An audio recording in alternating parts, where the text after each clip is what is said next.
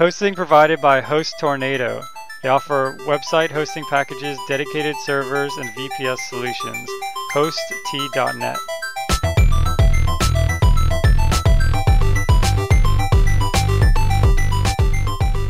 Programming Throwdown, Episode 23 Hadoop.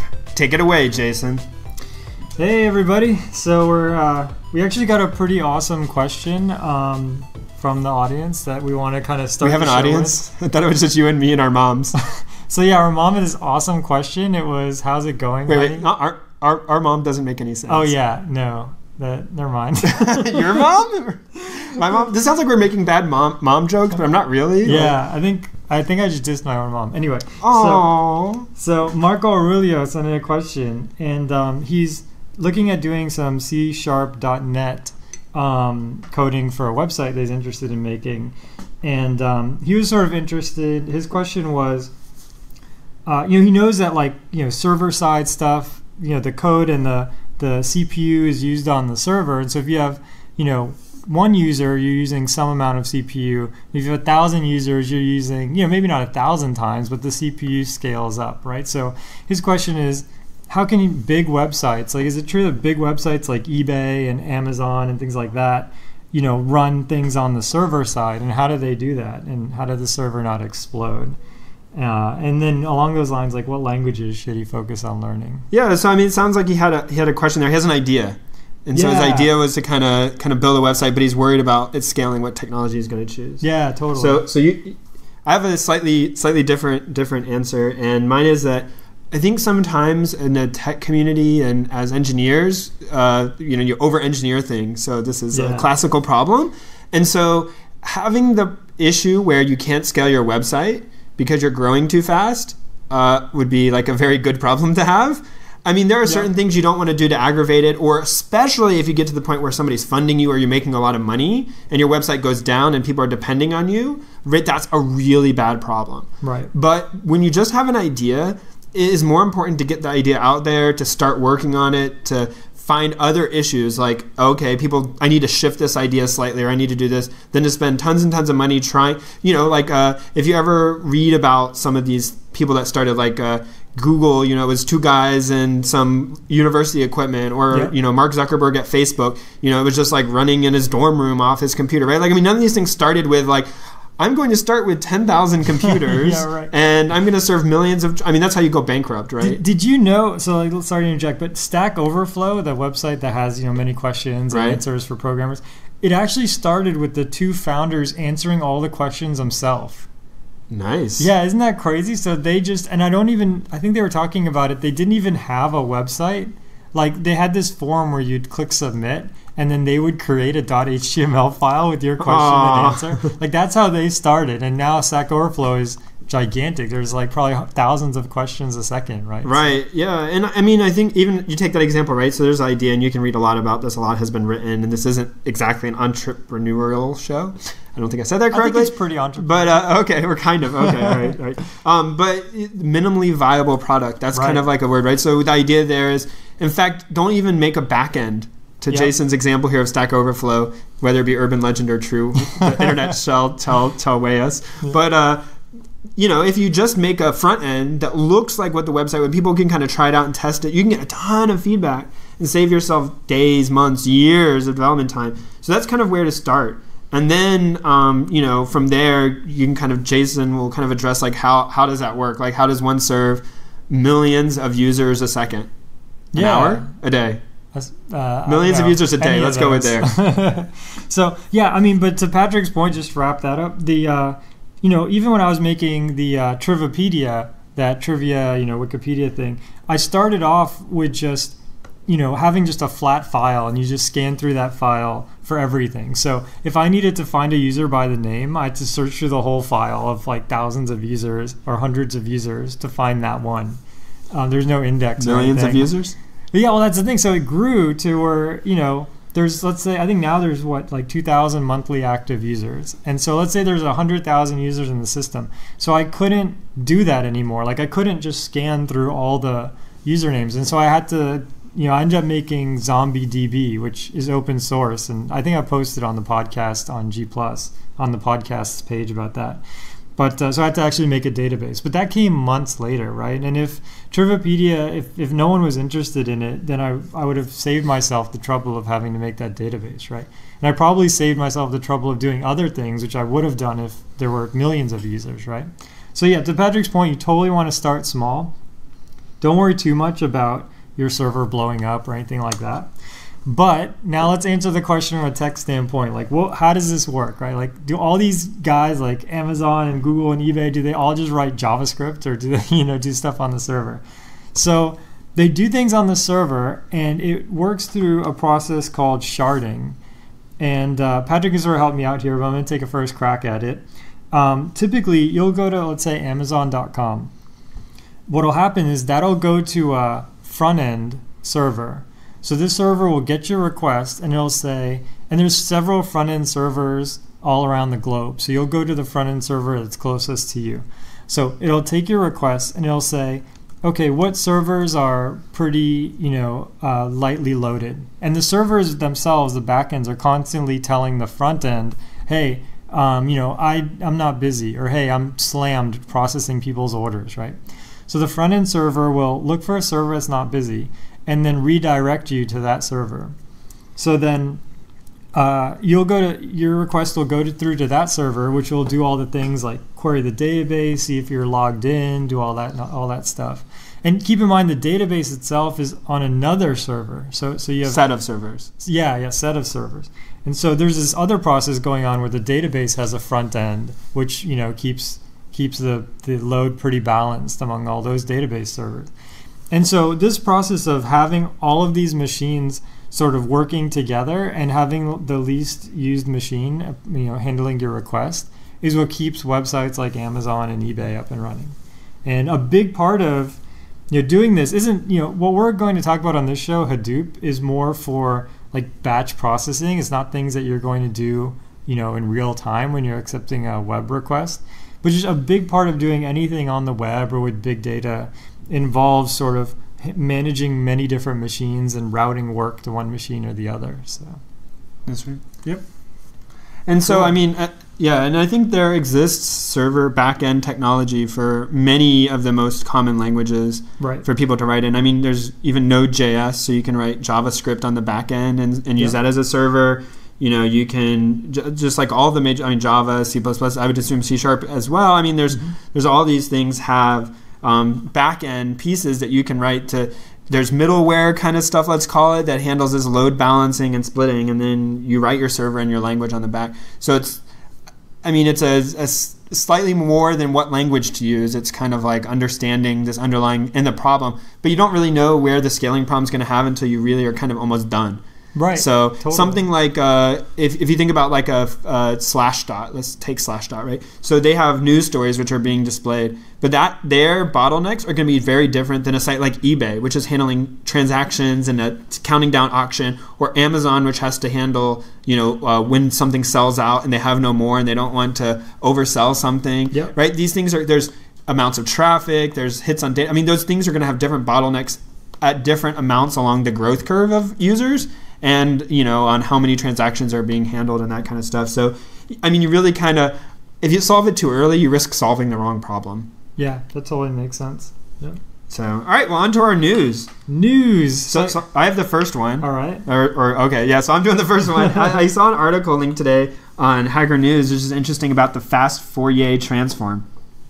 So this is real this is kind of like a FY. it's not exactly news it's not something updated but it was a pretty good article i, I kind of enjoyed reading it so i have a little bit of background with what the fourier transform is yep. so uh, without getting into the deep math uh, and this like this guy does a good job of explaining it thoroughly but not if you just kind of skim read it you know you can also kind of get the gist so Fourier trans- Oh, and there's code too. yes, cool. and he even posts like more detailed. This website's actually very interesting. we'll have to take a look at more and see if there's any other articles that'd be really interesting to you guys, or you guys just take a look and figure out on your own. yeah. But he covers a wide range of topics. But a Fourier transform in brief is going from the time domain to the frequency domain. So if you have some data that over time changes, so the example he uses is uh, audio recording.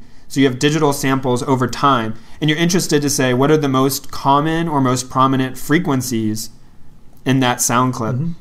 Then you want to transform from that time data to frequency data, which says, you know, at 80 kilohertz. I don't know if that's too high. I'm not good with my audio. Uh, I think that's right. Okay. 40. I don't So know. okay, Close some some number of hertz, you know, that, that this is the peak signal. So like, oh, okay, you know, maybe that gives you some information, or you want to do some sort of uh, uh, mutation of the signal and then transpose it back. But this is something that's very common. You'll come across it a lot in a large amount of domains: image Yeah. processing, audio processing. Um, I mean, they, even stuff that seems completely unrelated, it can come up. Um, but yeah, Yeah, compression of all sorts and things like that. Yeah.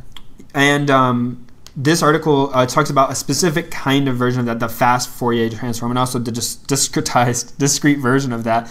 So um, going from math to kind of practical there, and uh, a lot of the implications. So it's a pretty good treatment. So if you've ever heard of that and wondered what it was or trying to learn more about it, um, I would definitely check out this. This article. It seemed like a pretty good description. Yeah, it's totally awesome. This is great. I'll have to give this a read. Cool. So I'm doing next article. It's on the oh yeah. Oh yeah, Oh yeah. Oh no, that's uh that's that guy who crashes through the window or the. Kool Aid Man. Yeah, the Kool-Aid man. The Kool-Aid man's coming out with a console. What? Pretty awesome, yeah. Hopefully it's like bullshit. And you could pour but anyways. So the oh yeah is coming out. I'm pretty excited about it. I, I haven't ordered one because uh, Patrick has scared me off of Kickstarter. But but I'm super interested in Ouya. Um, I still might order one off their website, even though the Kickstarter is finished. But Okay, um, so is it available for ordering off their website? yeah, you can actually Oh, pre-order cool. it. Is it the same price? um, A little bit more? uh, I'll find out. Oh, it's okay. But basically, you can order on the website. And It comes, I think, in March or April. Um, but it is a for people who missed the episode on the Ouya. It is a I I guess I'd describe it as an Android powered console. So it's, so it's a console with a controller and, and all this good stuff, but it's totally Android. So any existing Android games you can play using the touchpad on the on the controller, and any new Android games will be able to support the hardware buttons of the Ouya, and uh, it's pretty awesome because we've never. we should say it hooks up to the right? TV, so it's not like a phone. Oh, yeah. It- it- it's a little box that plugs into your TV, just like uh, Xbox. Yeah, or- or PS3 or something. We've never had an open system. So a little bit of history on consoles. Um, the way the PlayStation and Nintendo, uh, you know, Wii and Xbox, the way these things work is, um, well, unless you're Nintendo and you're awesome. But let's talk about everybody besides Nintendo. The way that these work is you lose money on the console. So like every time you buy a PlayStation, the play uh, Sony loses money. Well, on that. initially, I don't know if it that doesn't normally hold true over the whole life of the console Uh, oh, because they're well, no, they're because cheaper. of a over. Well, okay. Oh, yeah, I- I'm sorry. interruption. So th- the point is, you at least they don't make a ton of money. I suffice it to say. On, That's on not the that. mo- the main way they make money. right. Yes. So they actually make money by charging developers for a dev kit. So, for example, if you want to make a PlayStation 3 game, then you buy this dev kit, and the dev kit has a little bit of hardware, but I don't even know if they have hardware nowadays. It's probably all in software or firmware. But, but they'll send you probably a PS3 with some special firmware. But they'll charge you for the dev kit. I think it's like two hundred thousand dollars for a dev kit. And the only reason why the price is so high is so that they can recoup some of the money. And the idea is, you know, people who buy your game are going to, you know, are going to give you money, and you're going to give some of that money, pass it along to the to the hardware manufacturer. Well, so, no, I mean, so it's worse than that, right? So I mean, it's that for every copy sold, they have to they put DRM on the game. So if you don't have, but it's I guess this is kind of almost re, slightly different than normal DRM, which is that if I have own media, but that media is not signed by Nintendo, I can't play my media on the Nintendo device. right. So so the you have to go to Nintendo and they you know I'm, I'm doing air quotes here. They test your software to make sure it's not going to break the console or isn't a virus or Yep. you know anyone it doesn't crash. It's good, right? And then basically with their permission, then you can turn around and you're allowed to sell that game, but they you owe them you know X percent or dollar amount oh, that's true. Some of per everything that you sign. Yeah, that's Yep. the most. Com- I think I believe that's like a very common way. Yeah, I think there's an initial like like one or two hundred k investment just to keep like the small people out of the market, and then there's also a rev share. So this is talking to a friend of mine who works for EA like a long time ago, so it might be different now, but um, but yeah. So so the, the the the point of it is, you know, Patrick and I can't make a game for the PlayStation 3, right? I mean, we just don't like uh, have those resources at hand, right? So you have to be a big publisher or or Nintendo has to come to you. Like World of Goo is a common example where they're a really popular indie game. Um, they did really well in Flash, and I think they were out on mobile even before the Wii. And then Nintendo contacted them, and some agreement was arranged, etc. the thing about the Ouya is it's a completely open platform. So like any game that anybody puts out for Android, like Trivipedia, you could play it on the Ouya. Like any Android program out there will run. And so it really just sort of opens up the game console experience to like to the whole world of developers and that's what's really exciting to me. So, And the, the general trend has been that along those lines, right? So like even the Xbox, Yeah. there's like was it Xbox Live Arcade? Yep. Yeah, Um, okay.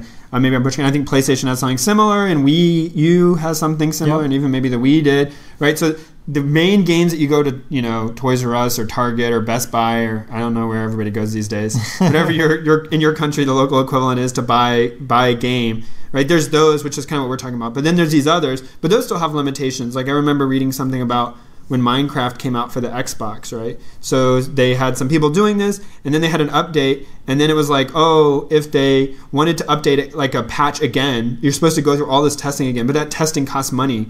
So Yeah. like it's like a thing like you can't. They wanted to just push it early and push it often, but that didn't like that was not compatible with how the money was set up, and so it caused kind of a problem. yeah, yep, totally. And so sometimes people leave kind of like broken broken games because they just don't have money to to push a fix for it, and that's bad. And the other problem too is although there is an Xbox Live Arcade, there isn't a developer there's a developer ecosystem, but not to the extent of these open platforms. Like Could be, yeah. yeah, like for Yeah. example, we talked on last show with that Cocos2d-x, which is it's not a game, it's just a library that you can use to make games.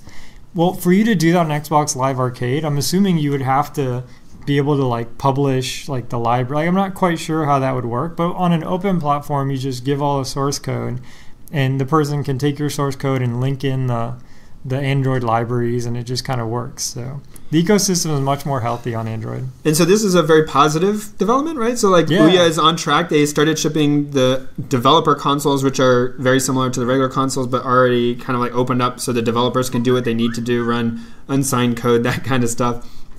Uh, and so this is a positive Kickstarter story. Yay, Kickstarter! So hopefully they'll stay on track, and early next year we'll be talking about the reviews of Jason's Ouya console. yeah, totally. All right, so I think you have one now. All right, so uh, future of the web. the future of the web would be HTML8. No, Oh, no, no, man, well, maybe that's cow. that's far in the future. HTML5 yeah, at this rate, is- that's like the year 3000. is finalized.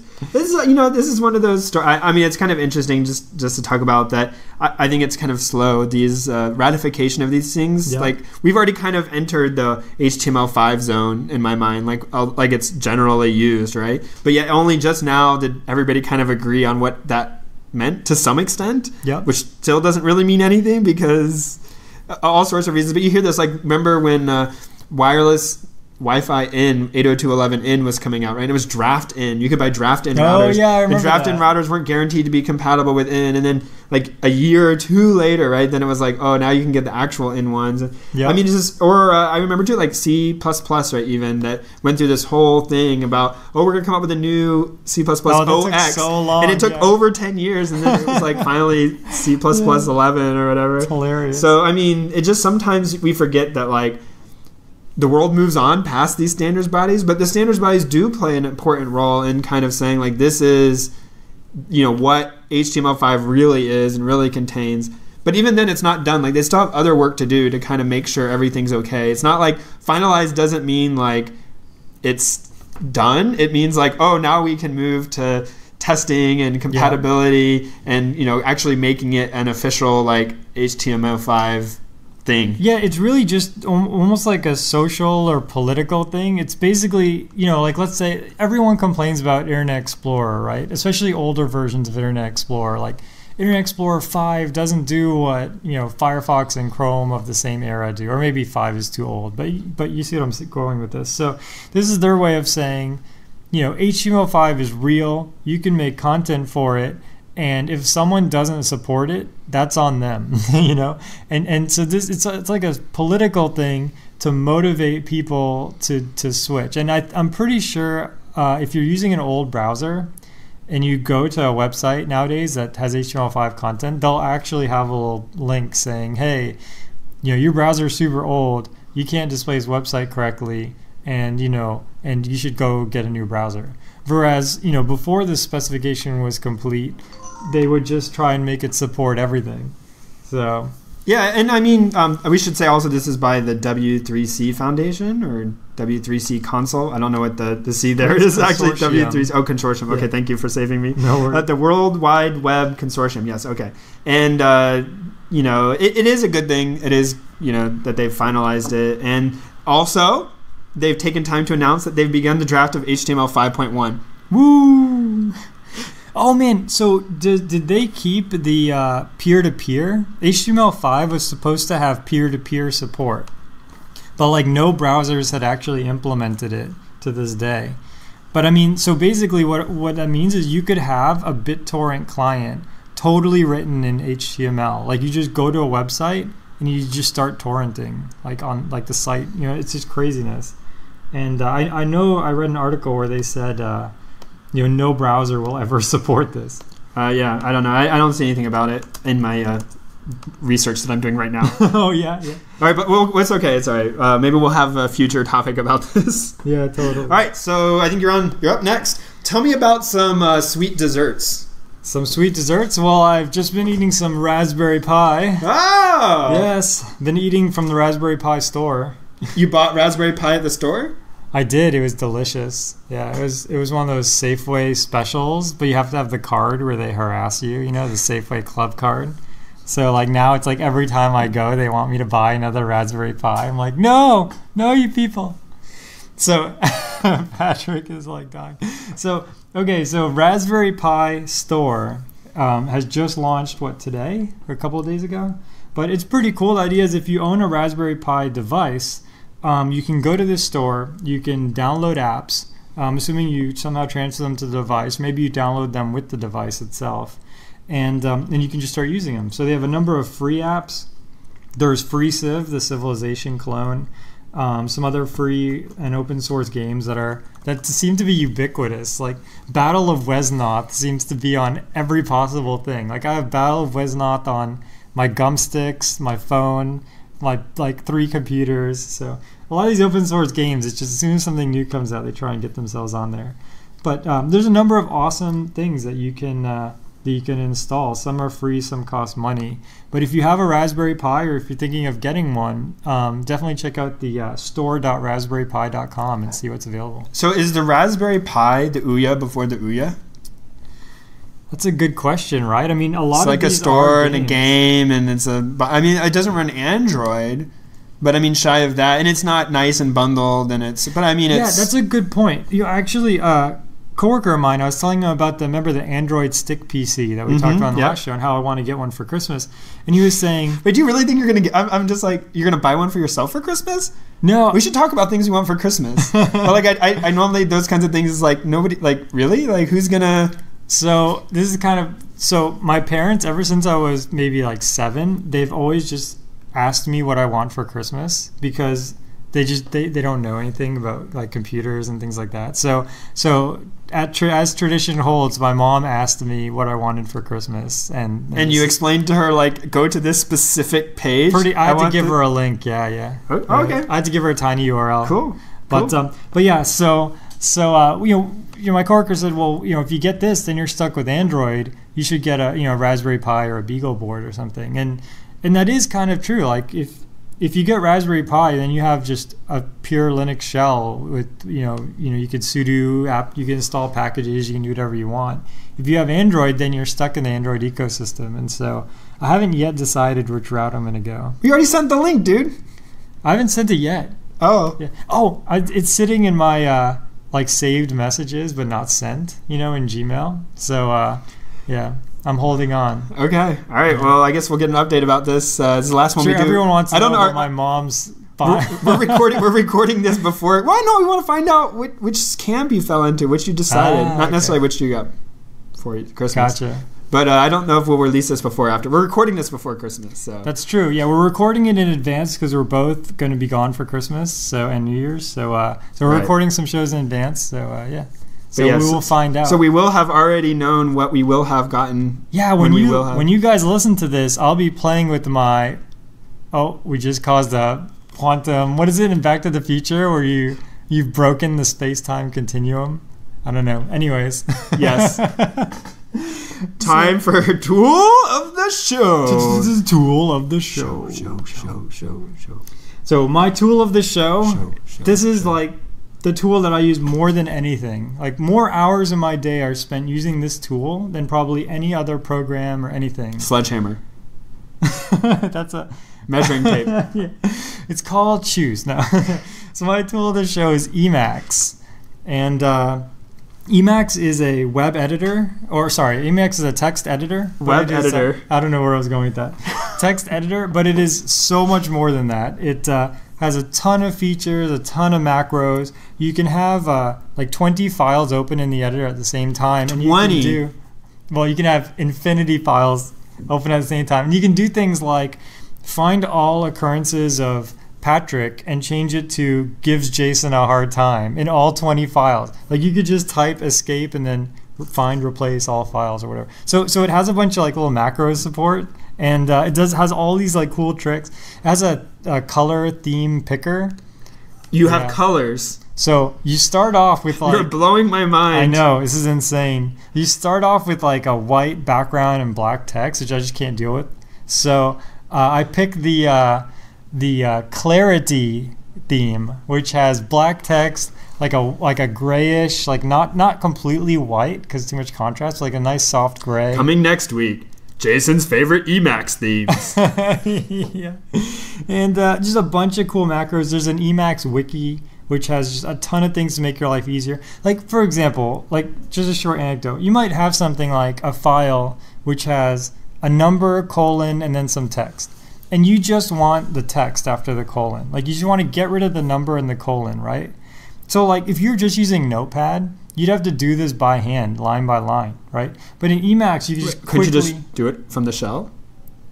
yeah, you could write like a sed. shell script to like you know cat the file, go through sed and awk and things like that. But in Emacs, you actually do like a regular expression replace, like almost trivially. Or you could use something that had a column editor. A column editor.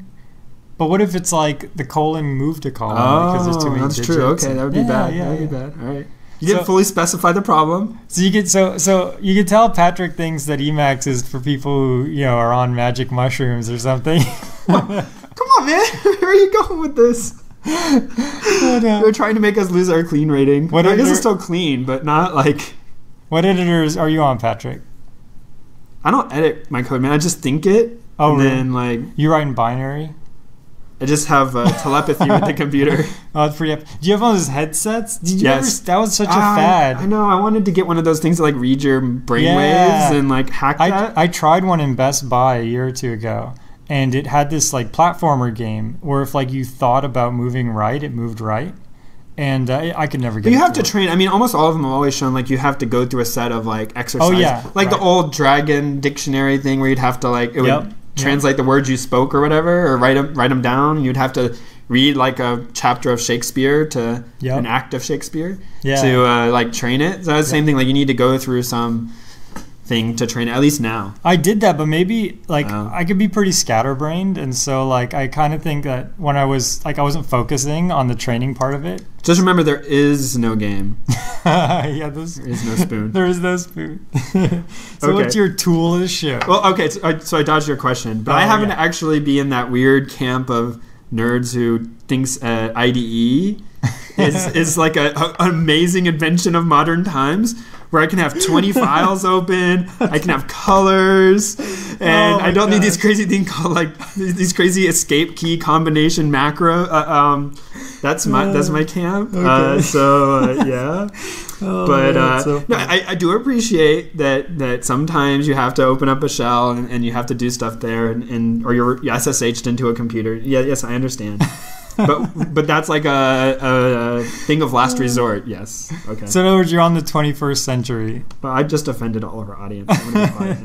No, I'm pretty sure I might be the only person amongst our audience who uses Emacs. If you use Emacs, I think then all right. Here's my thing, and, and I'm really gonna get in trouble now, but this is okay. I'm gonna say it anyways because that's how I roll. all right. Um, so I think people like the idea of being really, really nerdy, so they just say these things, and they it's not they're not true. Like, Like what? like VI or die. Oh, yeah, Emacs yeah, server. yeah. I mean, that's not an actual phrase. I don't. I just couldn't think of one. But like you know, yeah. like oh, I That's only use one. VI for everything, or like oh, I only what's the there's like cult of something. I don't know. All these things, right? Like Yep. oh, I only use Emacs, and I'm sure there are people who do, and and I'm, I'm sure that's legitimate. But I, I really feel like most people, it's not really true. Yeah. Right? Like. Same thing as like I remember there's all, there's all these people talk to like oh Linux this Linux that and it's like what do you run at home like oh Windows yeah, right.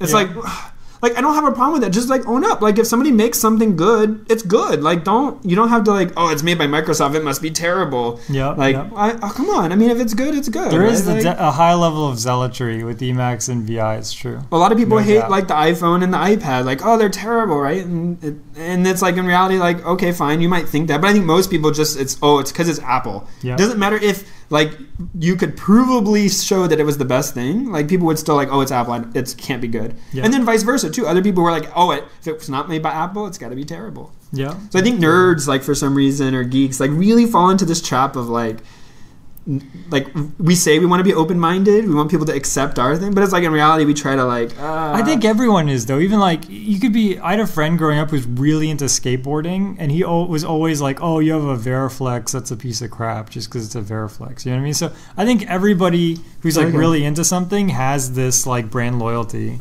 But uh, but yeah. So the thing about tech though is tech is very functional. So like to have brand loyalty for something that doesn't necessarily have a style or where the style doesn't matter. Like it's one thing to be like, I really like you know express jeans. And it's like you do it knowing that they're not gonna like make you walk faster you know? But but but it's like oh i really like emacs. And then it, for fido was to make the argument like emacs makes me a better coder which i don't believe.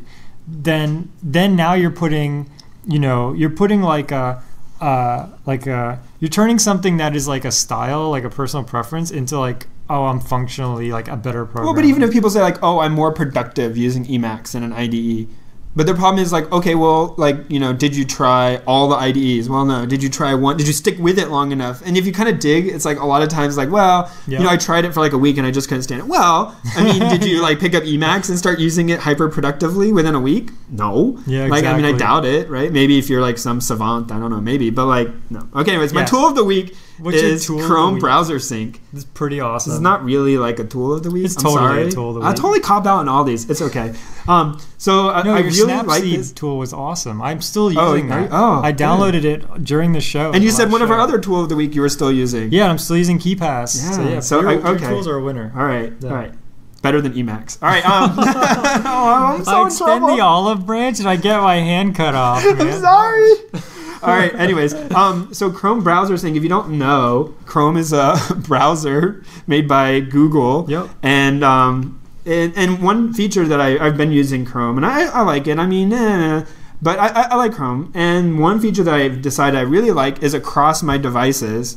Um, that if you have Chrome and you sign into it, which yeah, I, I mean we can get to all the debate, but all right, whatever. So you sign into it, and it'll synchronize your bookmarks. It'll synchronize. You can see what tabs are open from your other computers. Yep. Um, and that's like a really good feature. And I think now, like I, somebody's pointed, either Firefox ships it like by default or it's Yep. an add-on or something. I, I don't remember. But that browser sync functionality and whatever browser, I happen to use Chrome, so that's my tool of the week. But I, I, they may all have it by now. Yeah, or- browser or sync is awesome. And now Turn it on. It's awesome. It even works with mobile. Right. So on my iPhone, I have the Chrome, and I can look at what oh what was that page I was looking up on my computer at home, and I just go like my home computer and like oh that tab, Yep. you know, bring it open. It's amazing. Like especially, I notice it a lot when I'm using directions. Like I'll be at home and I'll look up directions for a place, and then I don't want to like. I mean, it's not a big deal to retype in the address, but it's so much easier to just pull up your phone and say, "Show me my desktop tabs," and the directions are there, like done, ready to go. But how do you enter all those key combinations for Emacs on your phone? oh dang!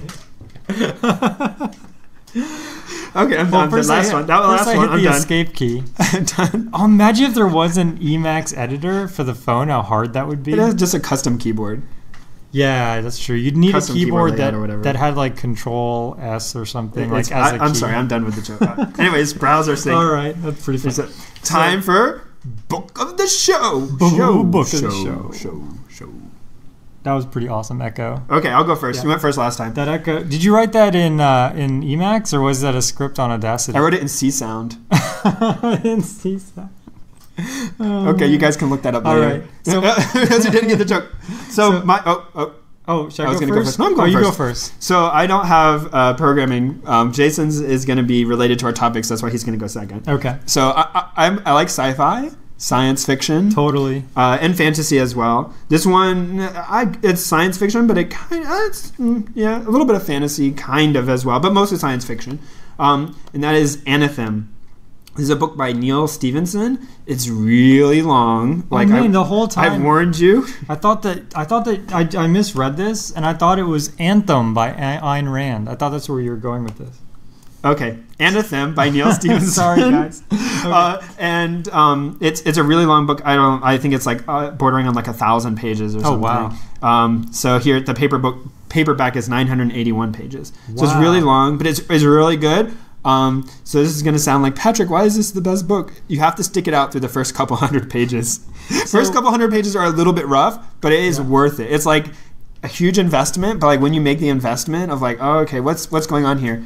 Is really good. I don't want to do any spoilers about what the So, farther well- part of the story, but it starts off and you're in a monastery Mhm. and it just starts describing like a whole world which is like slightly different than ours and like you kind of begin to pick up that there's some things which are different but kind of the same and it just like really neal stephenson just goes into like great detail about like all the functioning of this monastery and it's not lest you get be confused it's not like a religious monastery like you would think of today or in, in you know in kind of our world so you kind of got to stick with it and, and see it's a it's Huh. something slightly different. And again, I'm trying not to give away because some people, you know, really want to have all that surprise of the book.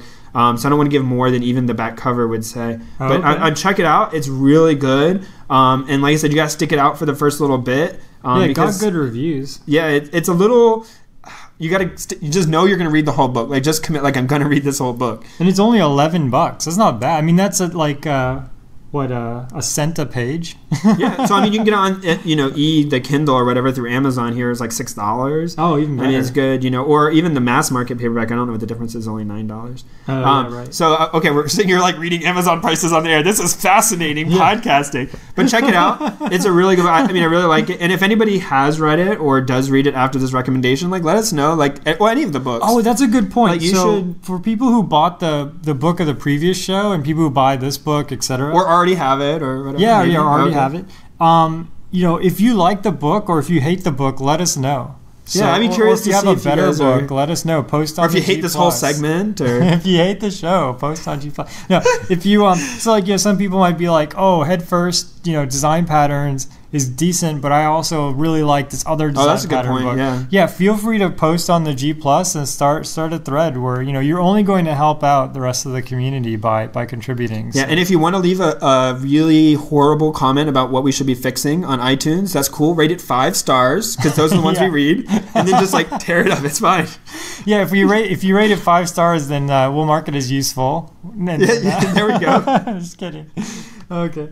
All right, So, uh, sorry. So so that's Anathem by Neal Stephenson. Anathem with an I, extra I mean, A. I'm, I'm pretty sure that's how you say it. I'm not No, you're exactly right. sure. Okay. Yeah, well, it's definitely not Anthem. No. because that's missing an A. So, um, it uh, my book is Hadoop: The Definitive Guide, and uh, I've actually been reading this book for a while now, um, trying to sort of understand more of the like Hadoop internals and and the way like Hadoop sort of does different things um, um, on the back end. Um, so as somebody who like I feel like I can call myself a MapReduce expert. Like I might get destroyed for that by somebody who's like crazy expert, but I, I know a ton about MapReduce. I work a lot with like MapReduce and Hadoop internals and things like that. So so you just um, set yourself up. You know that, right? yeah, I know. Oh, bring it on. I feel like I can take it. I accept the Wow. challenge. Unless, right. unless, unless we get like Jeff Programming Dean or Sanjay Ghemawat, the original creators of MapReduce, unless they uh, comment. That would be awesome. Yeah, actually, I I could take abuse from them. I'd be worth it. Yeah. Um, so Uh, uh, you guys, that would be programming throwdown at gmail.com or on our G plus page. All, any any of you want to say anything? Uh, Go ahead. yeah.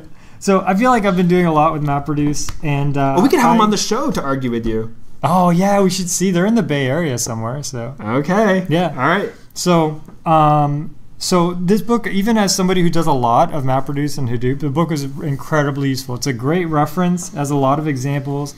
It, it really quickly answers the question, why do you use Hadoop, which we'll hopefully answer ourselves. But, but it, it book. explains it in a lot of detail, and uh, it has a ton of extra content. So uh, if you like this show and you're interested in in Hadoop and you know things we talk about, this has a has a ton of great examples. So And it's got a cool elephant on the cover, dude. it's pretty epic. It must be awesome. Now, do you know why it has an elephant on the cover?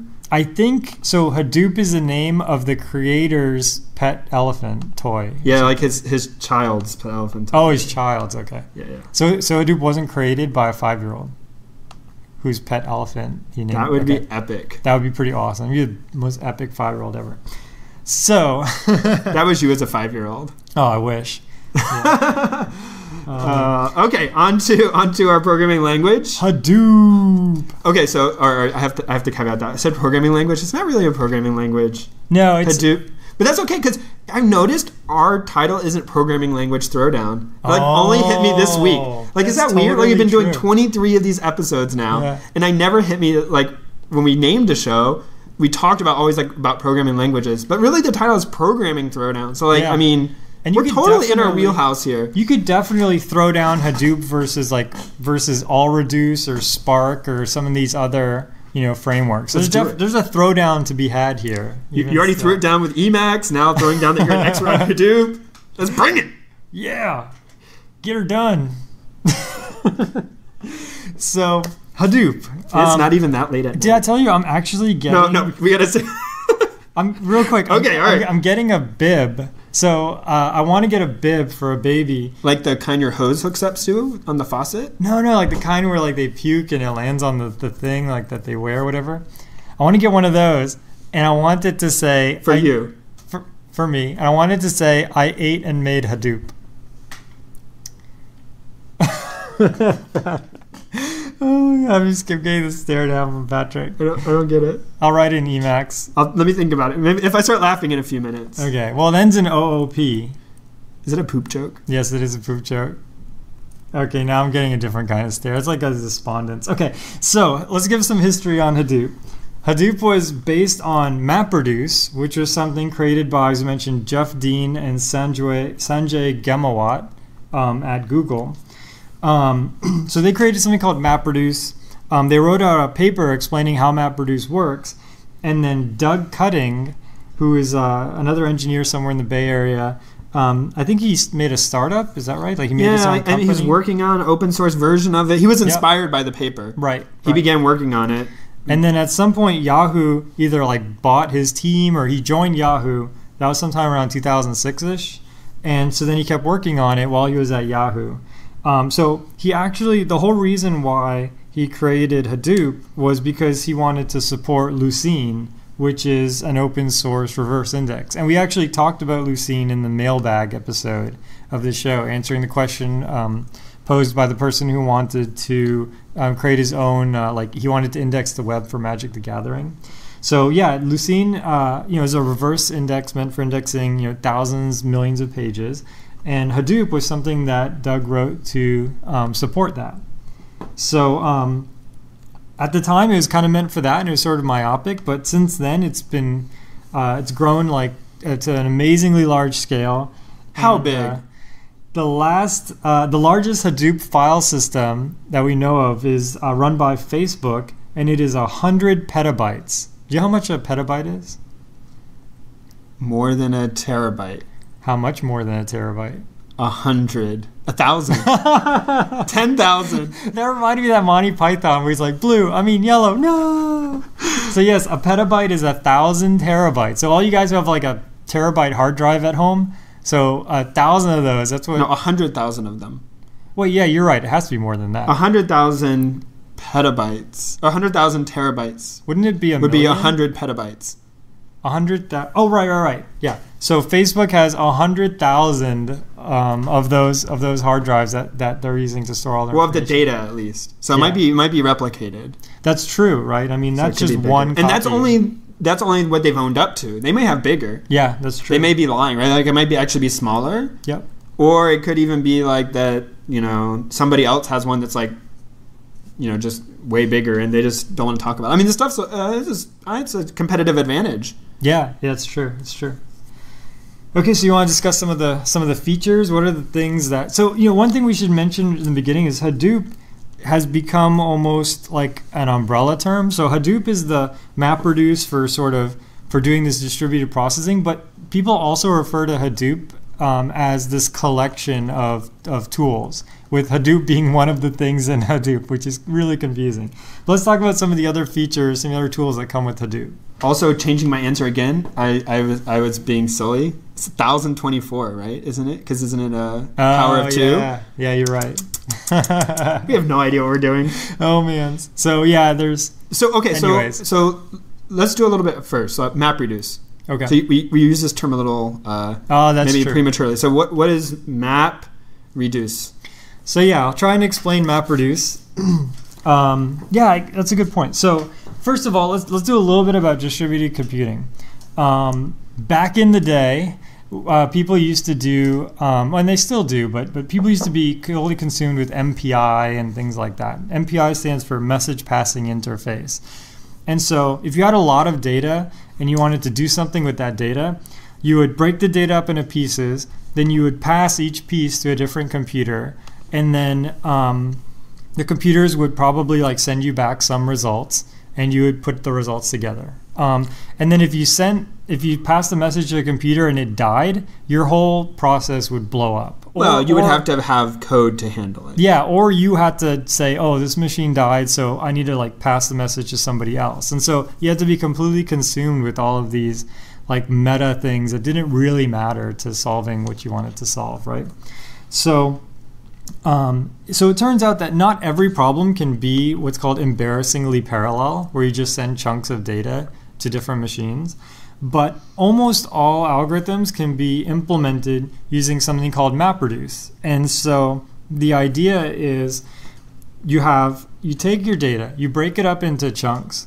Then for each chunk, you execute a map on the chunk, which takes this chunk of data, could be a sentence on a web page, or it could be a URL, or it could be you know any any you know atom of data, and then returns a key value pair. So for example, let's say you wanted to count the uh, you wanted for every word on the internet to figure out how many times that word is there.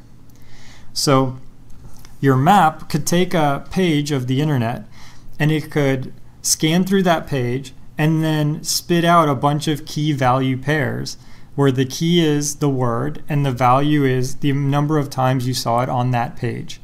So if you saw like the fox jumped over the dog, then there's two thes. So one of your key value pairs would be the comma two. Another one would be fox comma one, etc. So now all of these key value pairs generated by all these mappers, they're all kind of floating somewhere on, on in your cluster. So you have something called a shuffle that takes all of the keys that are in common and all the key value pairs that have the same key and squishes them together. So if you have 10 websites with Fox as the key, you'll just have one key with Fox. And then instead of a value, now you'll have a list of values, where that list is how many times Fox was seen on all these websites. Then you have that's the shuffle phase. Then you have the reduce phase where you collapse that key list of values down to one answer. So in this example, you would take Fox and then 21212324 and you would add up all those numbers together and you would say for Fox for the whole internet it's whatever 13 million or something like that. And uh, the, the cool thing about this is that all these pieces can happen in parallel. Like the part that collapses all of the Fox values and the part that collapses all the bear values could happen on two different machines. And the part that scans website A and web- scans website B can happen on two different machines. And uh, it all just kind of works. And so as long as you're and the MapReduce code also handles all these things like oh you know the machine that was processing fox dies we need to send fox to another machine they've dealt with all that for you so you don't have to do it so that's that's a short summary of MapReduce and Hadoop is an open source version of this All right. yeah So I mean, part of this is going to be if you're going to. You said you kind of started with something that was a little bit uh, presumptuous, dare I say, which is you start with everybody reading all the tasks reading one page of the internet. That's I, would, where do you store something that's every page of the internet? You can't just like store that like on a NTFS or you know Right, ext you know it, you know a file partition like this. The, I mean, It's so like, big. Yeah, I mean, well, not only the size large, but the number of files is ridiculous. Oh yeah, right. So you could run into problems. So I mean, one thing that has to go along with this is you have to have a distributed file system. So Yeah. first of all, you can't house all the data on one computer. Right. But then on top of that, even like how you would access it in a way that is efficient so that you can have these tens, hundreds, thousands, millions of map threads working on this. You need a way to be able to retrieve that quickly and reliably and in a sharded manner so that you know that can take place very quickly. And and they've handled that as well with the Hadoop file system. Yep, totally. Yep. So the uh, the Hadoop file system uh, operates in 64 megabyte chunks, and that chunk could have one file in it. It could have a piece of a file. It could have 10,000 files in it if the files are very small. And so versus you know a regular file system which uses you know B trees and red black trees and things like that, this uses something totally different that's meant for you know gigantic files, millions of tiny files, all of these things. Um, and it expects you to access the files using something like Hadoop versus you know a file system which doesn't really know how you're going to access the files. Yeah. Yep. There's also HBase. HBase is a um, column-oriented database written in Hadoop. So you know, whereas HDFS is a file system, um, HBase is a database. So if you need to, you know, get rows by key, and if you need to find all keys where the first name is this, if you need to do all the secondary indices, all that stuff, but you still need the distributed coolness from HDFS, uh, which HBase is built on, um, then you can use HBase and get that. Yep. So all this code that, that's running, I mean, if we begin to talk about hundreds, thousands of servers, or even more, I don't know how high how high you could go. how high do you want to go? I guess um, you're gonna have to have a way to keep that. So machines are gonna die. If you talk about that many machines, and some of this data can take a long time to process. I mean, machines are gonna die. You might want to add new machines. You want to increase your capacity. I mean, that would be a huge mess. Yep. In the old in the old you know, olden days, way back in the day. No, I mean, Yeah. I mean, imagine if you're doing do MPI and you Yeah. to deal with that, right? I mean, it would take you months to have to deal with the oh, this machine died, so I'm gonna send it to that machine, right? I mean, it's just it would, that that it could be such a nightmare, right? Or or what if the machine that's sending the things dies? I mean, you don't want to have to restart the whole thing just because of that. So dealing with that, right? That could be a nightmare. And so, um, so Hadoop's thing, which handles that, is called Zookeeper, going along the lines of like pet animals and things like that. and so, yeah, Zookeeper is a distributed coordination service. And so, in like really short, what that means is somebody can write some data to Zookeeper, and uh, somebody else, if they write try to write data and the data collides, Zookeeper sort of figures all that out. So that if like if two machines both want to take the same job at the same time, Zookeeper says, no, look, only one of you guys get this job. Things like that. So, like we said, I mean, Hadoop is kind of when people talk about, they're kind of talking about all these kind of tools, which are kind of all necessary to, to get together and enable you to be able to run those map reduces. Mhm. And so, I, I mean, kind of now I, talking about the strengths. One of the things like we talked about is you bring up more computers, great. You you know you can have more threads, and the threads can run on can run sooner. They don't have to be serialized. Yep. And so, I mean, it really you can just scale this dot dot dot. you Yeah, know, like just, totally. you know, whatever, like uh, however much I guess time or money you have yeah, uh, exactly. determines uh, you know how big you can go or you need to go or have to go. Yeah, yeah, it's amazing. I mean, you could be on using the Amazon Web Services, which run Hadoop. Right, so they Um, have a, a version that they've altered, I guess, or changed. Or it's not web Elastic, services. Elastic Map Yeah. Reduce or whatever, right? Yeah, right. Which is, is very similar, yeah. So they have a they have their version which runs on their infrastructure. So they have so like you know for instance they may not I don't I think the way it works and I, I'm I'm speaking a little out of uh, my expertise here, but it's you know instead of having like a Hadoop file system, they have their Right. version of the same thing, right? Their Elastic file storage, which they kind of uh, hide from you, so you don't have to worry about. it. You just put data there, and you can run the Elastic MapReduce, which runs on that. So it's very similar and shares a lot of stuff with Hadoop, but it's not it isn't exactly the same. Yeah, yeah, totally. I don't know if it uses the same API or how that works, but I don't know. yeah. But Didn't um, look into that. no, yeah, I haven't done that with Amazon. But the uh, the other cool thing is it's fault tolerant. So you know all these crazy corner cases that you'd have to code up yourself, they've done that for you, and they'll even do crazy things that you wouldn't think about doing. But like one thing Hadoop will do is, let's say you have 20 machines that uh, are in your little Hadoop cluster, right? And you're running a job, and you and Hadoop detects the zookeeper detects you're only running one job, and the job had eight workers, like eight you know, let's say there's eight mappers. So Hadoop will say, well, you know, if one of these machines dies, you have to like start the whole thing over again. So let's just run like since you only have eight, let's just duplicate all this work. Like run it on two machines, and if one of them dies, it's okay. Or another thing they'll do is they'll know, oh, you know, you might be able to like pass some data, or you might be able to arrange and do a little bit of the reducing in the mapper. Like these crazy optimizations that like we don't really think about because we're too busy focused on the algorithm they've done all that grunt work you know and they've done all these awesome optimizations sort of like using c++ instead of assembly right? Like, exactly the same. Yeah like mpi is like so low level that like you just have to end up doing like way too much and that feeds into uh, one of the features I, I skipped over that, that you were particularly a little bit passionate about crunch oh yeah so you want to talk about crunch? Patrick's actually used used crunch quite a bit. Yeah, well, yeah, you overstate, sir. I, I, I'm not so emblazonly bolden to say that.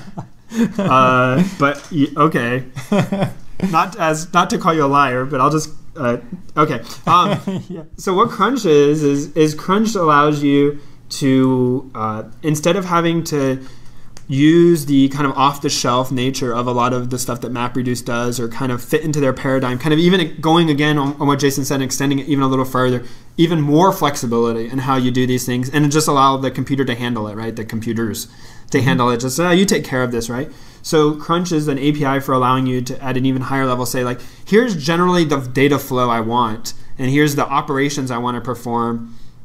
And all right, go and so um, if you if you kind of drew out like oh I need the data these two data things need to flow together I need to do some operation on them and then once that's done I make some calculation and then I need that to flow with another piece of data you know and then I want to kind of join those together in like an inner join fashion or something right like all these kinds of notions could become there are like multiple MapReduce Hadoop jobs that would need to run, and there are you know things that you might have to string together very carefully. But Crunch allows you to just kind of specify like these are the way I want it to do, and it'll handle like oh I could merge these two together and run them at the same time, um, yep. or oh I need to spin up a new Hadoop run for this thing or for that thing, and it kind of allows you to do that much more simply and easily, and in a way that's flexible, just allowing the computer to handle it.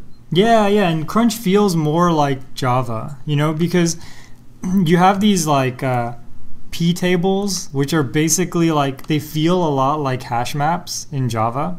So you can kind of take your existing Java code, and if you need it to run on like a thousand machines, you know, it's not just a copy paste, or you can't just change hash map to p table. There's more to it than that, but it it it um it has things like get all the values like get a list of all the values. That exists in hash map and also in P table. And so it kind of feels more like uh, like like you're like you're just doing native Java. So it's good for people who want to get started right. with Hadoop and aren't used to writing this kind of stuff. Yeah, it's that idea like p table or p group table, and it allows you to say like, oh, on everything in that you know in parallel do this thing, right? Like yep. go through and perform some operation. So that's what I was kind of talking maybe a little too high level, yeah. but uh, yeah, you know that's how you know you kind of it gives you this uh, API, but it really is. Uh, kind of almost an ex, you know classes and things that make it just look like to Jason's point it looks like you're writing Java code on some fancy you know hash map and in reality you're instructing crunch to in the backend figure out how to arrange the map reduces and the to, to be able to do that yeah totally totally so there are some weaknesses to MapReduce. No, um, I know. You After think, we sang the praises, you think it would be just a panacea that would just be a cure-all, but no. Uh, one of the problems with MapReduce is it takes a long time to spin up and spin down. And so what, what, what we mean when we say that is spin up refers to, for example, let's say you're building a multi-threaded program. So the first thing you'll do is make the thread pool and actually ask the operating system for the threads. So that's kind of like our spin up time, right? And so to ask the operating system for some threads happens in what milliseconds, maybe even less than that, microseconds. But to ask MapReduce for hundred machines to do work on, uh, you know, or to ask like to ask a Hadoop Zookeeper for hundred machines is going to take you know on the order of seconds at least. I mean, it really just depends on your cluster, but it's not going to take milli or microseconds, right? So if you have, you know, a MapReduce job that that uh, adds two numbers, like goes through two files and then adds the numbers together, and the files are a meg each. You might just want to do that in C++, you know, because by the time you spin up the machines, you know, send little send numbers to the machines, and you know, then uh, compute the result and then store the result somewhere. Yeah, your C++ program would have run like forty thousand times or something. So there is a problem there. Yeah, there is something called worker pools, and the idea is you know, if I have a job that I want to run over and over again, I can sort of prep Hadoop and I can say, look, Hadoop, you're going to do this thing a hundred times. So get ready for that. And then it'll do some optimizations there. Also, uh, we talked about all these wonderful things of bringing on new computers and bringing down computers and all these stages and divided and just, oh, do this little bit of work and then do this little bit of work. And that helps it be really scalable. But I mean, as you can imagine, all the data that's in your program, all those classes and everything need to be able to be serialized out. And Yeah. then when they're read back in, they need to be deserialized. And sometimes, you know, oh, it can be say like, oh, I'm going to do this on the same machine. But a lot of times you have to do it anyways because you don't know, like, oh, am I going to be doing this on the same shard or not? Or is it going to go somewhere else? Yeah. And so it's just a like if that takes a long time because you have especially some nasty intricacies, it, it could be a problem. But even in just in general, like that's going to be overhead. Yep. And then the other thing, and there's some theoretical reasons why this is true that I'm not going to get into because it takes a long time, but but uh, there's excessive, there's a lot of materialization. So, you know, each of your mappers, going back to our word account example, each of those things that scans one page of the web has to put those results, all those key value pairs, on disk on that Hadoop file system. And then the reducer, the, the shuffler, sorry, that's putting together all the keys has to read those from disk and then put the reduced key values lists on disk. And then the reducer has to read from disk and then put the answer on disk, right? If you were just writing some C++ program, you would just put everything in memory. Or maybe you would only put you know, a bit of that on disk, like one stage of that on disk. So there's a lot of disk I/O when you're using Hadoop.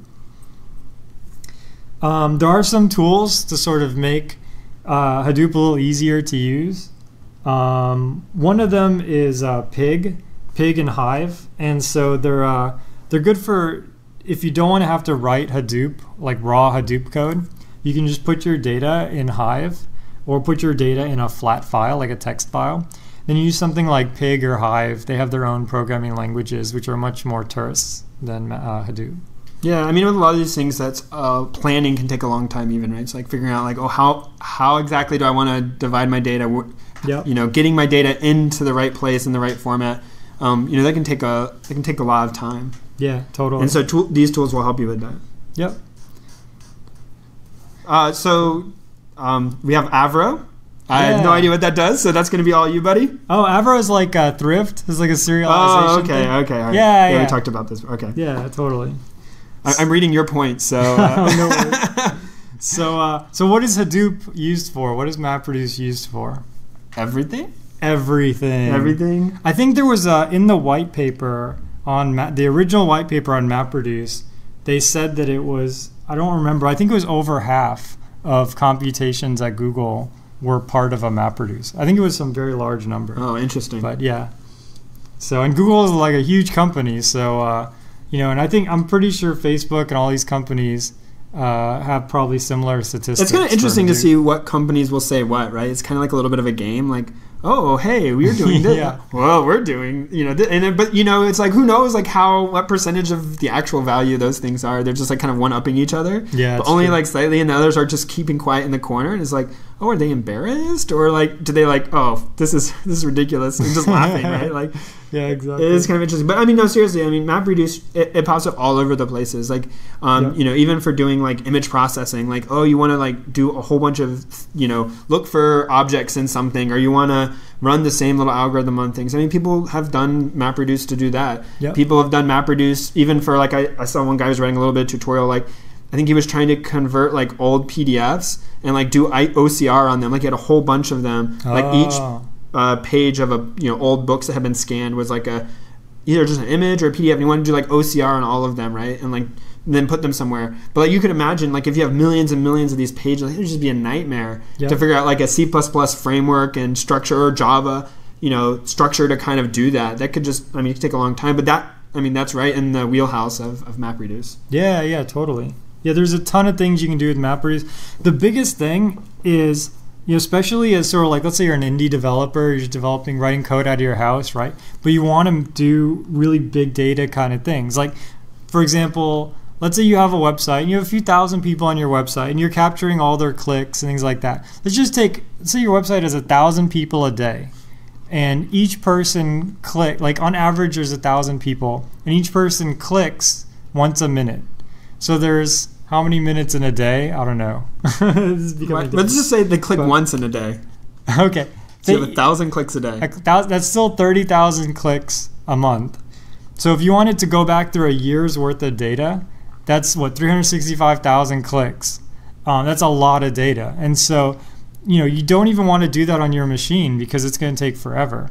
So if you wrote a MapReduce, you could say, um, you know, run it on your machine on like one day's data, make sure it works, and then say, look, Amazon, you know, you have this elastic cloud that's totally awesome. You know, chug on this data, like run this MapReduce that I wrote.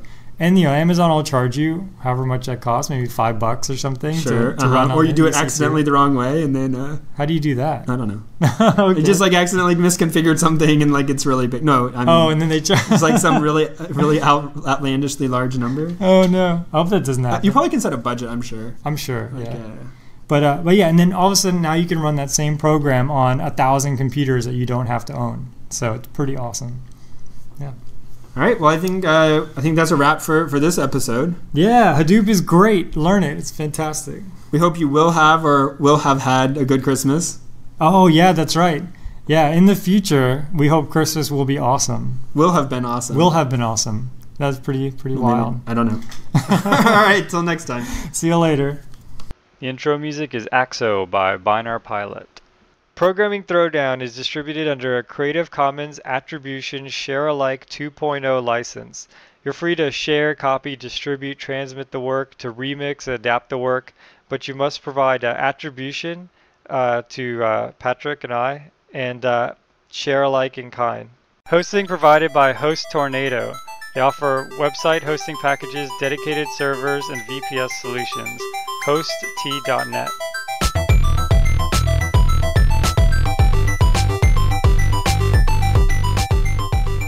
Programming Throwdown, episode 23, Hadoop.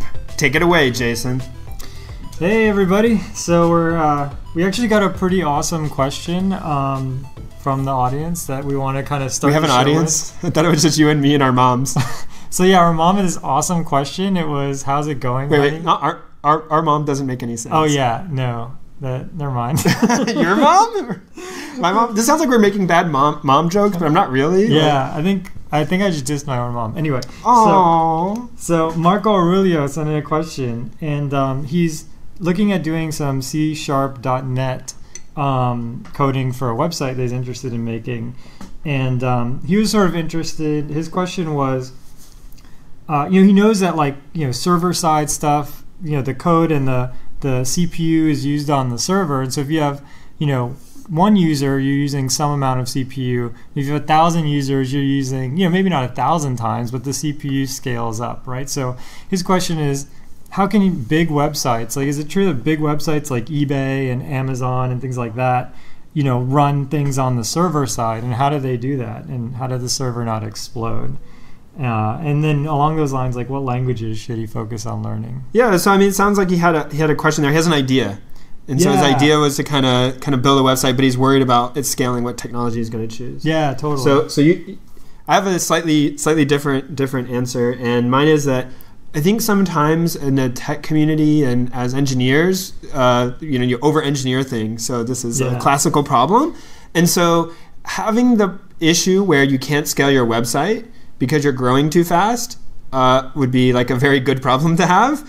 I mean, there are Yeah. certain things you don't want to do to aggravate it, or especially if you get to the point where somebody's funding you or you're making a lot of money and your website goes down and people are depending on you, that's a really bad problem. right. But when you just have an idea, it is more important to get the idea out there, to start working on it, to find other issues like okay people i need to shift this idea slightly or i need to do this than to spend tons and tons of money trying you know like uh, if you ever read about some of these people that started like uh, google you know it was two guys and some university equipment or Yeah. you know mark zuckerberg at facebook you know it was just like running in his dorm room off his computer right like i mean none of these things started with like I'm going to start with 10,000 computers Yeah, right. and I'm going to serve millions of I mean that's how you go bankrupt, right? Did, did you know? So, like, sorry to interject, but Stack Overflow, the website that has you know many questions and Right. answers for programmers, it actually started with the two founders answering all the questions themselves.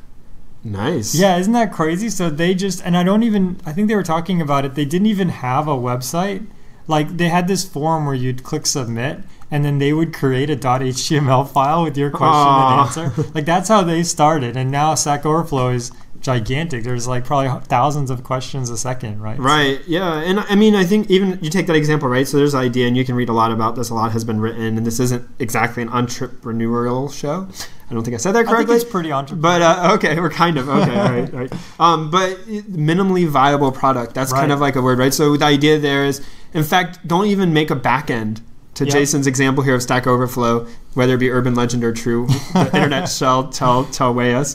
But uh, you know, if you just make a front end that looks like what the website would, people can kind of try it out and test it. You can get a ton of feedback and save yourself days, months, years of development time. So that's kind of where to start. And then, um, you know, from there, you can kind of, Jason will kind of address like how, how does that work? Like, how does one serve millions of users a second? An Yeah. hour? A day? Uh, Millions of users a day. Let's go with those.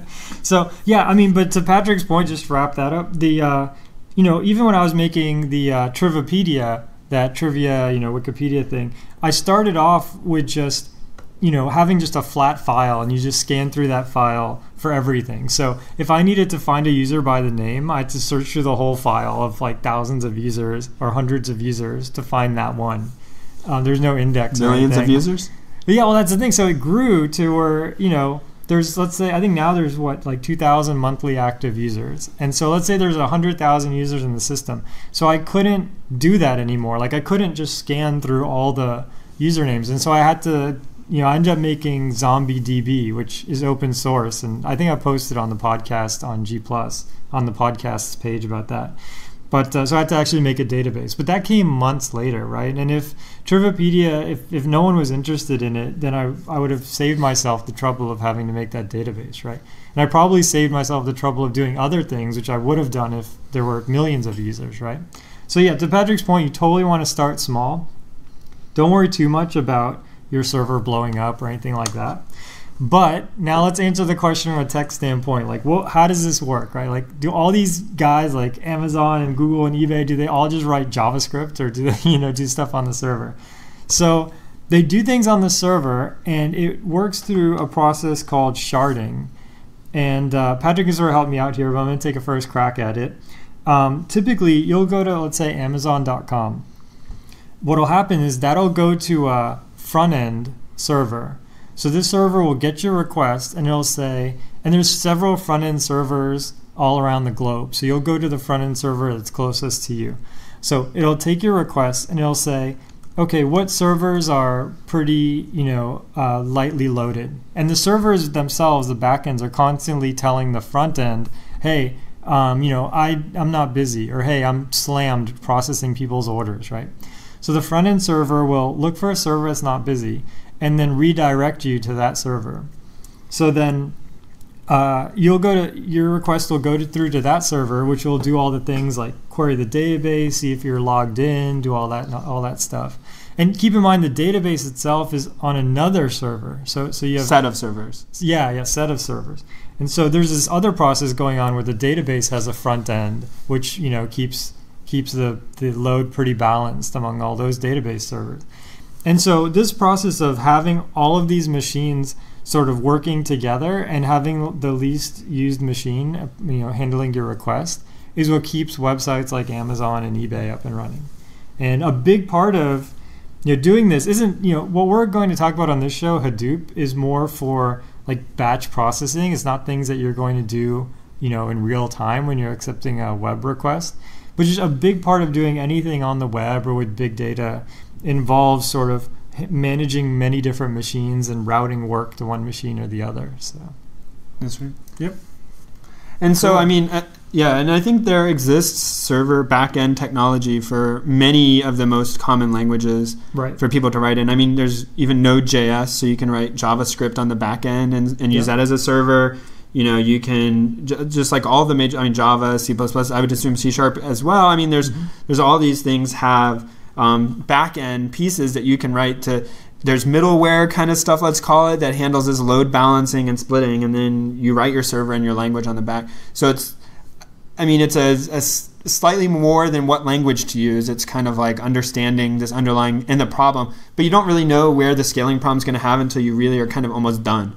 Right. So Totally. something like uh, if, if you think about like a uh, slash dot, let's take slash dot, right? So they have news stories which are being displayed, but that their bottlenecks are going to be very different than a site like eBay, which is handling transactions and a counting down auction, or Amazon, which has to handle you know uh, when something sells out and they have no more and they don't want to oversell something, Yep. right? These things are there's amounts of traffic, there's hits on data. I mean, those things are going to have different bottlenecks at different amounts along the growth curve of users and you know on how many transactions are being handled and that kind of stuff. So i mean you really kind of if you solve it too early you risk solving the wrong problem. Yeah, that totally makes sense.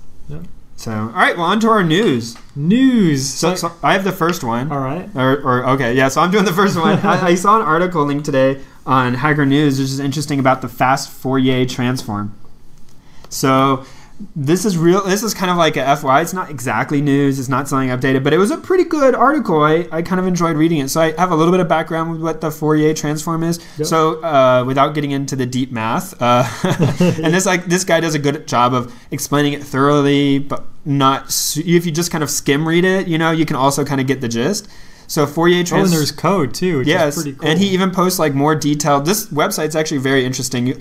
We'll have to take a look at more and see if there's any other articles that'd be really interesting to you guys, or you guys just take a look and figure out on your own. Yeah. But he covers a wide range of topics. But a Fourier transform in brief is going from the time domain to the frequency domain. So if you have some data that over time changes, so the example he uses is uh, audio recording. So you have digital samples over time, and you're interested to say what are the most common or most prominent frequencies in that sound clip. Mhm. Then you want to transform from that time data to frequency data, which says, you know, at 80 kilohertz. I don't know if that's too high. I'm not good with my audio. Uh, I think that's right. Okay. Maybe 40. I don't So know. okay, Close some enough. some number of hertz, you know, that, that this is the peak signal. So like, oh, okay, you know, maybe that gives you some information, or you want to do some sort of uh, uh, mutation of the signal and then transpose it back. But this is something that's very common. You'll come across it a lot in a large amount of domains: image Yeah. processing, audio processing. Um, I mean, they, even stuff that seems completely unrelated, it can come up. Um, but yeah, yeah, compression of all sorts and things like that. Yeah. And um, this article uh, talks about a specific kind of version of that, the fast Fourier transform, and also the dis- discretized, discrete version of that. So um, going from math to kind of practical there, and uh, a lot of the implications. So it's a pretty good treatment. So if you've ever heard of that and wondered what it was, or trying to learn more about it, um, I would definitely check out this. This article seemed like a pretty good description. Yeah, it's totally awesome. This is great. I'll have to give this a read. Cool. So I'm doing next article. It's on the oh yeah. Ooh yeah, Oh yeah.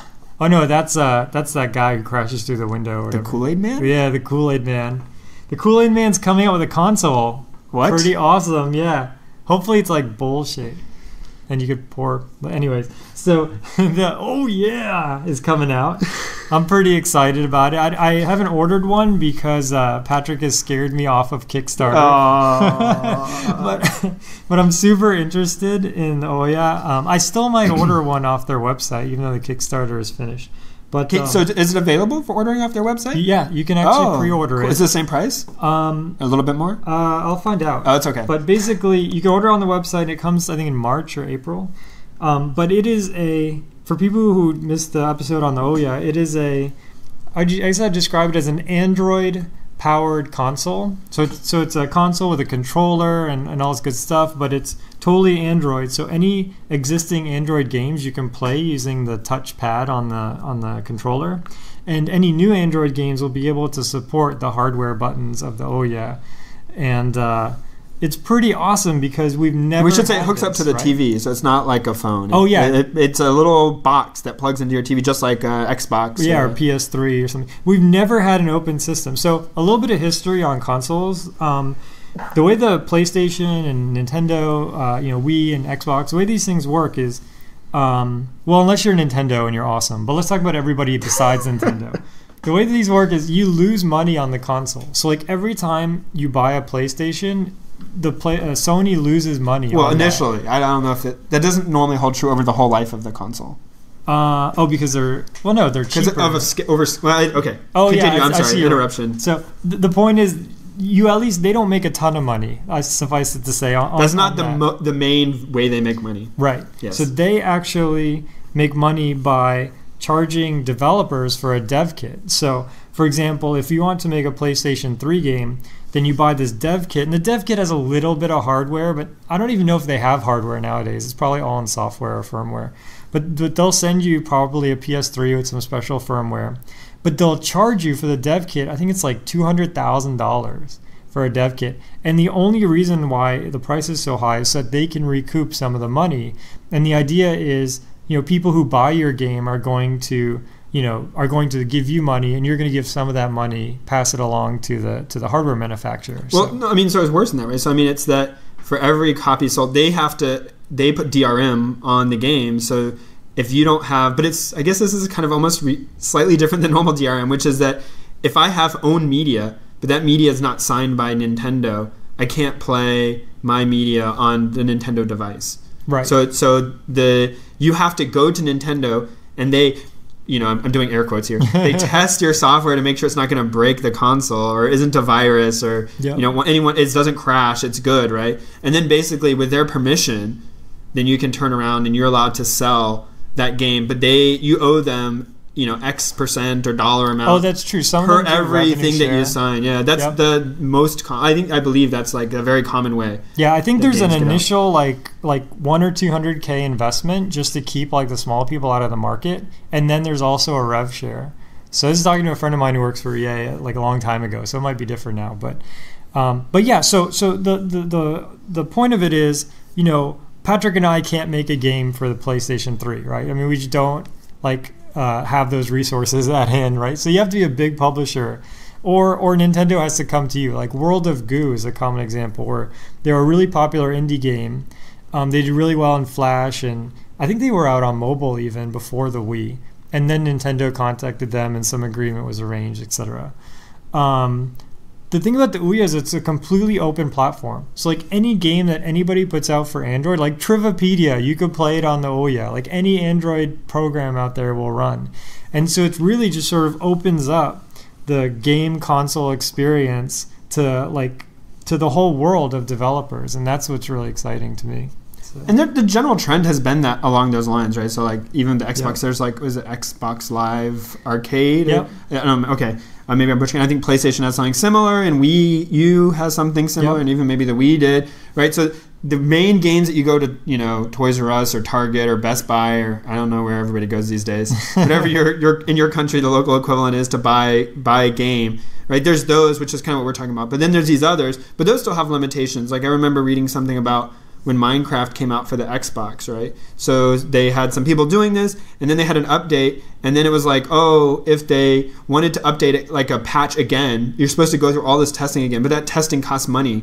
So Yeah. like it's like a thing like you can't. They wanted to just push it early and push it often, but that didn't like that was not compatible with how the money was set up, and so it caused kind of a problem. yeah, yep, totally. And so sometimes people leave kind of like broken broken games because they just don't have money to to push a fix for it, and that's bad. And the other problem too is although there is an Xbox Live Arcade, there isn't a developer. There's a developer ecosystem, but not to the extent of these open platforms. Like Could be, yeah. yeah, like for Yeah. example, we talked on last show about that Cocos2d-x, which is it's not a game, it's just a library that you can use to make games.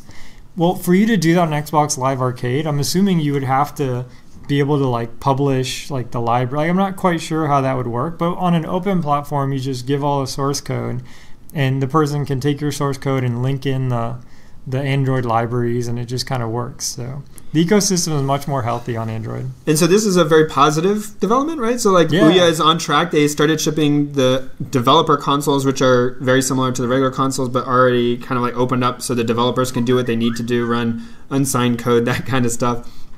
And so this is a positive Kickstarter story. Yay, Kickstarter! So hopefully they'll stay on track, and early next year we'll be talking about the reviews of Jason's Ouya console. yeah, totally. All right, so I think you have one now. All right, on, so uh, future of the web. the future of the web would be HTML8. Oh, no, no, man, no. maybe that's cow. that's far in the future. HTML5 yeah, at this rate, it's- that's like the year 3000. is finalized. this is you know this is one of those. Sto- I, I mean, it's kind of interesting just just to talk about that. I, I think it's kind of slow these uh, ratification of these things. Yeah. Like we've already kind of entered the HTML5 zone in my mind. Like uh, like it's generally used, right? But yet only just now did everybody kind of agree on what that meant to some extent. Yep. Which still doesn't really mean anything because all sorts of reasons. But you hear this like remember when uh, wireless Wi-Fi in 802.11n was coming out, right? It was draft n. You could buy draft n Oh, routers. yeah, I and remember draft n routers weren't guaranteed to be compatible with n, and then like a year or two later, right? Then it was like, oh, now you can get the actual n ones. Yep. I mean, it's just, or uh, I remember too, like C++, plus right? Even that went through this whole thing about, oh, we're gonna come up with a new C++ Oh, that took 0x, so long, and it took yeah. over 10 years, and then it was like finally C++ 11 or whatever. It's hilarious. So I mean, it just sometimes we forget that like the world moves on past these standards bodies, but the standards bodies do play an important role in kind of saying like this is you know what HTML5 really is and really contains. But even then, it's not done. Like they still have other work to do to kind of make sure everything's okay. It's not like finalized doesn't mean like it's done. It means like oh now we can move to testing and compatibility and you know actually making it an official like HTML5 thing. Yeah, it's really just almost like a social or political thing. It's basically, you know, like let's say everyone complains about Internet Explorer, right? Especially older versions of Internet Explorer. Like Internet Explorer 5 doesn't do what, you know, Firefox and Chrome of the same era do. Or maybe 5 is too old. But but you see what I'm going with this. So this is their way of saying, you know, HTML5 is real. You can make content for it. And if someone doesn't support it, that's on them, you know. And and so this it's it's like a political thing to motivate people to to switch. And I I'm pretty sure uh, if you're using an old browser and you go to a website nowadays that has HTML5 content, they'll actually have a little link saying, "Hey, you know, your browser is super old. You can't display this website correctly, and you know, and you should go get a new browser." Whereas, you know, before this specification was complete, they would just try and make it support everything. So Yeah, and I mean, um, we should say also this is by the W3C Foundation or W3C Console. I don't know what the, the C there is actually. Consortium. W3C. Oh, consortium. Okay, Yeah. thank you for saving me. no worries. Uh, the World Wide Web Consortium. Yes. Okay. And uh, you know, it, it is a good